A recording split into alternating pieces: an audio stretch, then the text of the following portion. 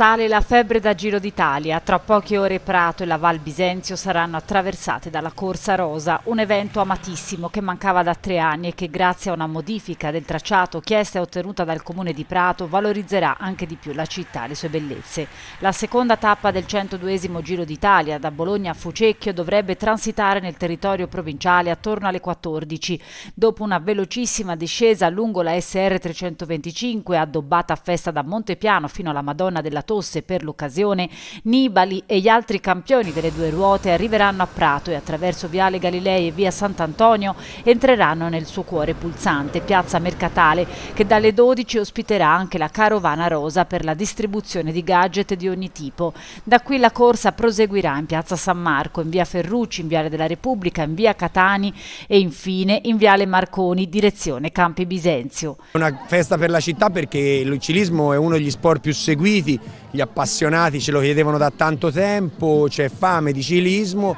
domani passa il giro, l'evento più importante, fra l'altro una tappa anche significativa perché è la seconda e insomma io penso che davvero tutta la città abbia la possibilità lungo il percorso di vedere questi straordinari atleti, secondo me è un eh, ottimo motivo in più per veicolare Prato, per veicolare la bellezza della nostra città.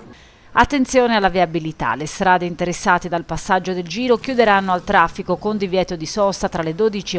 e le 14.30, oltre 120 minuti in cui la città sarà divisa in due. Per passare da una zona all'altra bisogna raggiungere il Ponte Lama e il quartiere del Rosi. L'abitato di Santa Lucia è l'unica zona di Prato dove non sarà possibile circolare in nessun modo durante questa finestra oraria.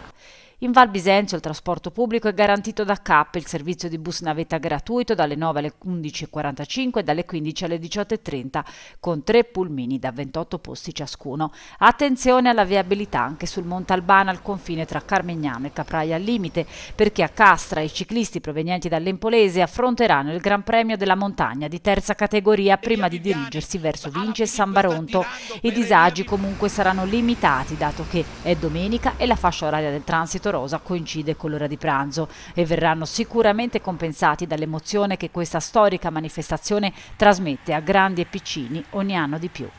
Per chi tifa il sindaco? Eh, per tutti, il sindaco, diciamo, il sindaco tifa per gli italiani, io mi auguro che ci sia un vincitore italiano e questa è la cosa che più mi interessa.